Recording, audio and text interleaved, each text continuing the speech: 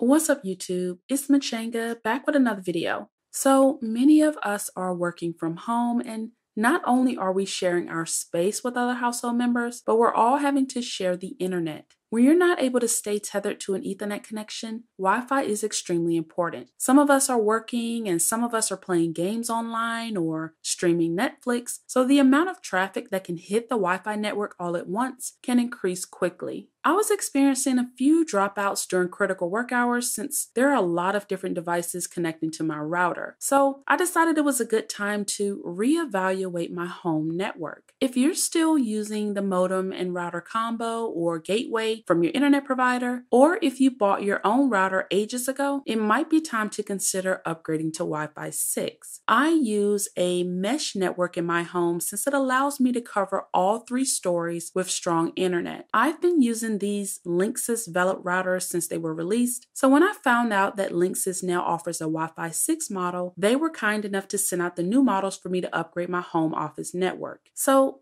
Let's find out if Wi-Fi 6 using the latest 802.11ax technology will make a noticeable difference. Before we look at the speeds on the new system, let me just show you the speeds I'm getting from my current setup. For reference, my office is on the second floor and my router is upstairs in the studio on the third floor. I'm going to test the connection on my Surface Duo, which is sadly stuck with Wi-Fi 5, and also test it on the HP Omen 15, which does support Wi-Fi 6. Now, this is just a non technical speed test, but I will be timing some movie and Xbox game downloads, and I'll leave those results along with the affiliate links to the routers down below in the video description.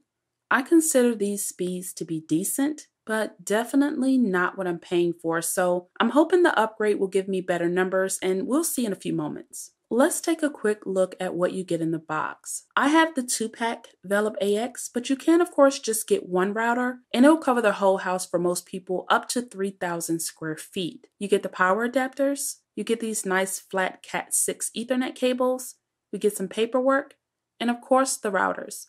Before we take a closer look at the router, You'll notice that the box containing the accessories is also the setup guide. Don't just toss that part out because it provides some good information to get you started. So let me grab the older version of this router because this was a shocker for me. There is a significant size difference between these. The new one is even taller than my mini editing PC, but it does pack some amazing goodies inside, so it gets a pass from me. If you own the previous Linksys Velop, you might need to think about the placement if space is a factor for you. Anyway, the overall design is quite nice and minimal. I don't typically hide my router away in a dark closet or corner, so I'm happy that it doesn't have 12 antennas sticking out from every direction. That's just not my style, so I appreciate the sleek modern design Linksys stuck with here. I'm interested to see how my router will look next to my new Xbox Series X, but that's for another video. So back to the router hardware, there's plenty of ventilation on the top, along with the single LED that does light up in different colors depending on the status of your connection. Around the back, we have a USB 3.0 port, 4 gigabit Ethernet ports, one one WAN port for connecting to your modem, and the power port. On the bottom, there's your reset button, WPS or Wi Fi protected setup button for a faster setup process, and the on off switch. This is also where you'll find your default Wi Fi name and password information, but you definitely want to change that to something more secure once you get into the Linksys app. For those of you wondering if an upgrade to a mesh network is necessary, I will tell you it does have some key benefits. In my situation, multiple floors can pose a problem for a traditional single router setup. So using a mesh network means I can increase the overall network coverage and strength of the signal throughout my entire house. If you work in the basement but you have kids upstairs playing games online, plus you want your friends to have a good connection in the garage, a mesh network makes it easy to accomplish that for larger homes. Two of these routers can cover 6,000 square feet, and I love that. While I'm not always out in the yard streaming Hulu, it's good to know that if I want to,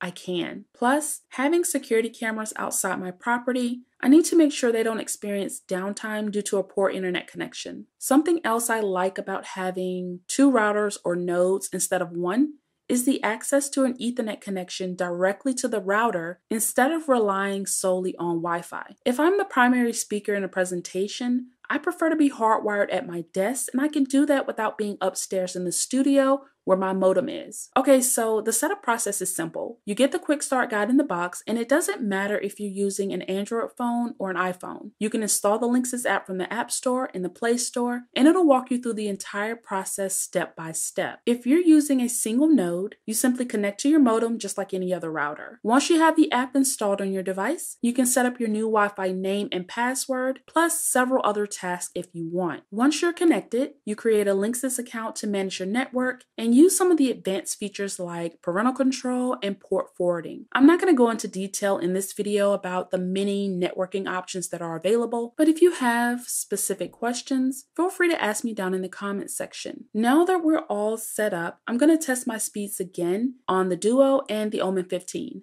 These numbers are so much better and closer to what I'm paying for. So just a quick refresher on Wi-Fi 6 in general. It replaces Wi-Fi 5 and allows you to not only get greater network coverage throughout your home, but you can connect even more devices without congesting your network. With Wi-Fi 6, you should also get a bit better battery life out of your mobile devices since the new AX technology isn't as power hungry. If you're unsure about your device being Wi Fi 6 compatible, I recommend reaching out to the manufacturer if you no longer have the box or packaging your item arrived in. You can also check your model number or serial number online. Before I wrap this video up, I'll show you in the Linksys app really quick how to connect an additional node if you decide to do so. On the main screen of the interface, click the three lines in the upper left hand corner. You'll see Set up a new product. Once you click that, click Add another node to whatever your network name is. Since we're adding one, we want to extend the network with the child node. It'll show you optimal placement for the nodes, plug it in,